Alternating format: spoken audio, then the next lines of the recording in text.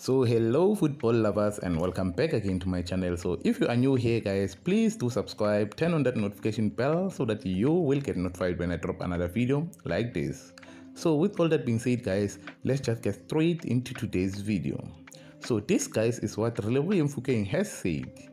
First of all, I would like to apologize to all Orlando Pirates technical teams, coachings and staff, my teammate and mostly importantly is the fans. I have seen the comments and posts on social media and I don't blame them.